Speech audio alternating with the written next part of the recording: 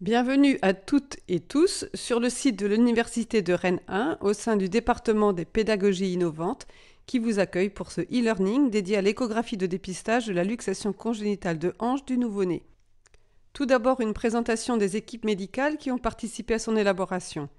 Je suis le docteur Catherine Tréguier, praticien hospitalier au CHU Hôpital Sud de Rennes, et le docteur Maya Proisy est praticien hospitalo-universitaire.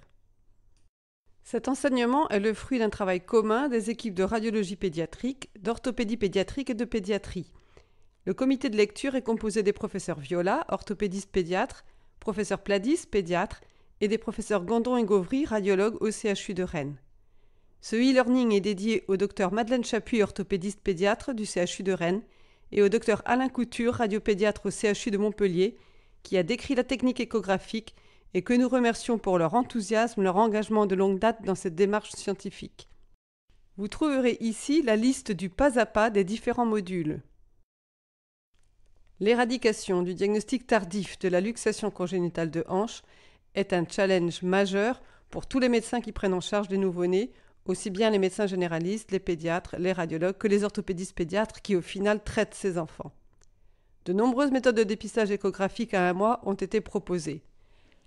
La technique de graphe est basée sur la présence de modifications morphologiques du cotyle, s'appuyant essentiellement sur la mesure de l'angle acétabulaire.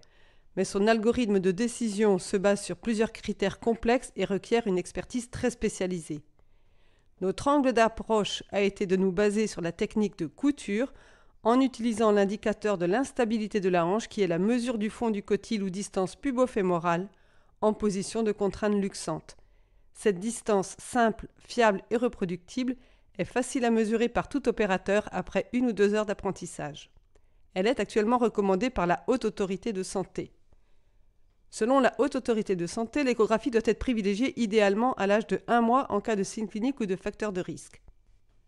La littérature rapporte que le taux de luxation de hanche concerne 90% de filles, dont 30% seulement présentent un facteur de risque. Nous avons donc, grâce au réseau périnatal et aux radiologues généraux, étendu ce dépistage systématique à toutes les filles au sein d'une région d'un million d'habitants avec 14 000 naissances annuelles. Nous avons rapporté en 2013 que cette stratégie nous a permis de montrer qu'aucun diagnostic tardif n'avait été observé pendant les deux premières années de ce dépistage de masse.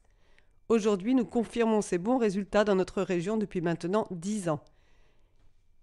Il nous est donc paru important de vouloir porter à la connaissance d'une large audience qu'il est possible d'éradiquer le diagnostic tardif de luxation de hanche par la mesure échographique du fond du cotyle généralisée aux filles et aux garçons avec facteur de risque ou anomalie de l'examen clinique.